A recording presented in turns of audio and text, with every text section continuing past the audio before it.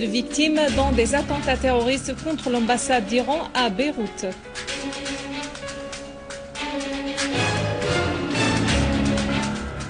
La Syrie condamne vivement l'attentat terroriste survenu à Beyrouth.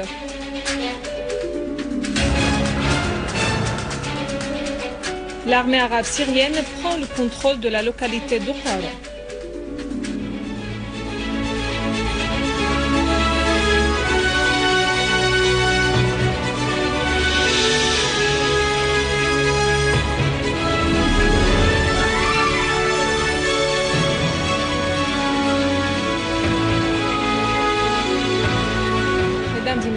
Et messieurs, bonsoir. 23 personnes ont été tuées et plus de 146 autres blessées dans un double attentat terroriste près de l'ambassade d'Iran au Liban, située à Bir el-Hassan al-Janah au sud de Beyrouth. Des sources sécuritaires libanaises ont indiqué qu'un suicidaire portant une ceinture bourrée d'explo- d'explosifs s'était fait exploser après que les gardes de l'ambassade l'aient empêché d'investir l'ambassade. Un engin explosif pesant près de 100 kg a explosé une minute plus tard à 10 mètres de l'ambassade. Les deux explosions ont fait des dégâts matériels considérables et parmi les victimes figurent des Libanais et d'autres de nationalité étrangère. Le ministre libanais de l'Agriculture, Hussein Haj Hassan, et le député Ali Ammar se sont rendus sur les lieux de l'explosion, qualifiant de terroristes ces actes qui visent la stabilité du Liban. Des sources libanaises ont d'ailleurs indiqué que les deux explosions sont captées en détail par des caméras de surveillance. La porte-parole du ministère iranien des Affaires étrangères, Merdia Afram, a condamné les deux attentats terroristes qui s'étaient produits aujourd'hui dans la capitale libanaise Beyrouth, affirmant qu'ils représentent un crime abominable reflétant la haine des sionistes et de leurs agents.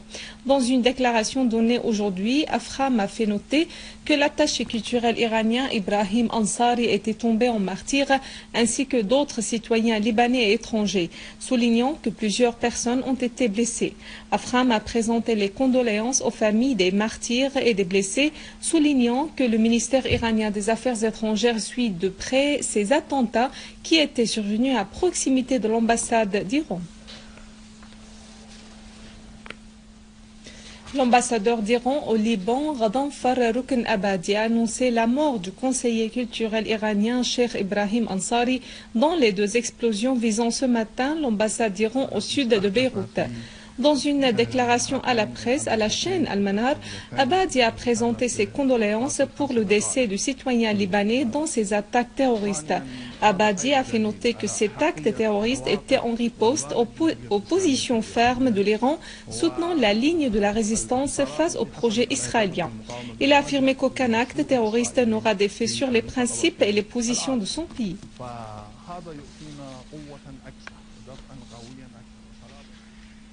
Le gouvernement de la République arabe syrienne a vivement condamné l'attentat terroriste et lâche perpétré ce matin à Beyrouth contre l'ambassade d'Iran ayant fait de nombreuses victimes. Le gouvernement a précisé dans un communiqué que cet acte lâche prouve l'implication de certains pays de la région dans le soutien au terrorisme et son financement. Cet attentat prouve leur volonté de répandre la destruction et la déstabilisation et de porter atteinte à l'avenir du Proche-Orient. Le communiqué ajoute, que la lutte antiterroriste est le devoir de tous les peuples et les gouvernements du monde tout entier. Tous les, gouvernements ou les États dont on prouve l'implication dans des actes terroristes doivent être condamnés par la communauté internationale. L'influence dévastatrice des pétrodollars se révèle clairement à travers tous les actes terroristes qui frappent la Syrie, le Liban et l'Irak. Pour cela, le gouvernement syrien appelle le peuple libanais à se rassembler et à tenir fermement à sa cohésion nationale face au terrorisme. Le ministre, russe des Affaires étrangères, Sergei Lavrov, a insisté sur l'importance cruciale de la participation de l'Iran et de l'Arabie saoudite à la conférence de Genève II sur la Syrie. Lavrov a jugé nécessaire de faire représenter tous les pays qui ont de l'influence sur les différentes parties de la crise en Syrie. Lavrov a déclaré au cours d'une conférence de presse qu'il est important que tous les pays influents sur les différentes parties de la crise syrienne soient représentés dans cette conférence, notamment notamment l'Iran et l'Arabie saoudite, car ces deux pays représentent les deux côtés qui appuient respectivement le gouvernement et l'opposition syrien. Lavrov a précisé qu'il est prévu de tenir le 25 novembre en cours une nouvelle réunion entre les représentants de la Russie, des États-Unis et l'envoyé international pour la Syrie, Lakhdar Ibrahimi.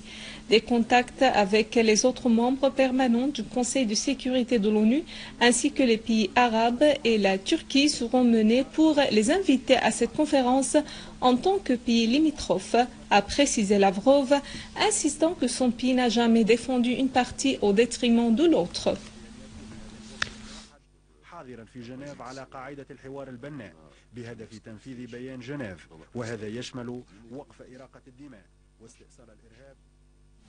Le vice-ministre iranien des Affaires étrangères Hussein Amir Abdullahian a affirmé que la communauté internationale a le devoir de soutenir la Syrie face au, terrorisme.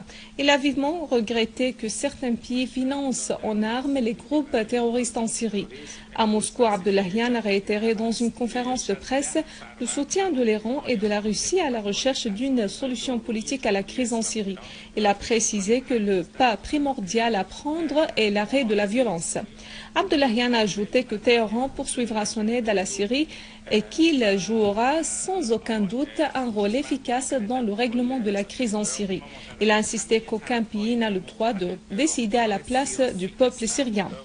D'autre part, Abdullahian a indiqué avoir examiné avec euh, le vice-ministre syrien des Affaires étrangères Faisal al-Mirdad plusieurs aspects de la crise en Syrie, ajoutant que l'Iran a offert à la Syrie une aide humanitaire de près d'un million d'euros.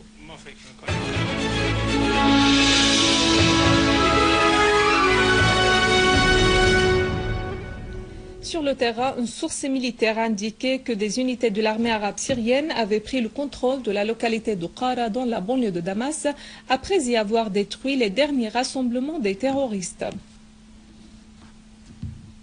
La mosquée des Omeyyades et nombre de maisons des citoyens avaient subi des dégâts matériels dans des attaques terroristes aux obus de mortier contre la zone d'Al-Hamidiyya et les deux quartiers d'Atijar et d'Al-Abbasiyin à Damas. Une source au commandement de la police à Damas a fait noter qu'un obus de mortier a été tiré par des terroristes sur le mur de la mosquée des Omeyyades et y avait causé des dégâts matériels sans faire de victimes parmi les citoyens, soulignant que plusieurs voitures et maisons ont été endommagées du fait de la chute d'un autre obus sur la rue de, Halab à Al-Abbasiyin. La même source a fait savoir que les terroristes avaient visé par des obus de mortier les maisons des citoyens à l'est du quartier d'Atijara, ce ce qui avait causé des dégâts matériels sans faire de victimes parmi les citoyens. Toujours à Damas, neuf citoyens ont été blessés dans une attaque terroriste aux, deux, obus de mortier contre la place de l'Abbasiyine et la rue de Bagdad. Un obus de mortier s'était abattu à proximité de l'hôpital de Croissant Rouge dans la rue de Bagdad, blessant six citoyens et causant des dégâts matériels. Un autre obus a chuté derrière l'école de Zayd bin al-Khattab à l'Abbasiyine, ce qui a fait trois blessés parmi les citoyens et causé des dégâts matériels dans nombre de magasins et de voitures. Dans la banlieue d'Idleb, quatre corps des terroristes ont été retrouvés à l'est de Saraqib après leur enlèvement il y a cinq jours par le réseau de l'État islamique en Irak et au Levant. À Alep, quatre citoyens sont tombés en martyrs alors que dix autres ont été blessés dans des attaques terroristes aux roquettes contre le palais de la municipalité dans la ville.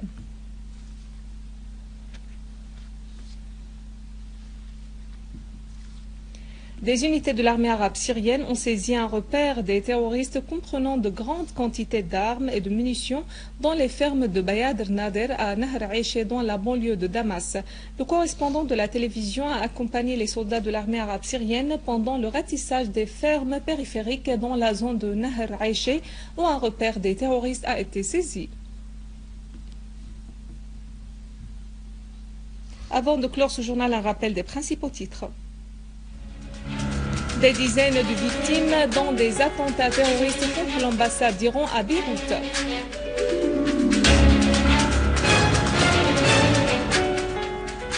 La Syrie condamne vivement l'attentat terroriste survenu à Beyrouth.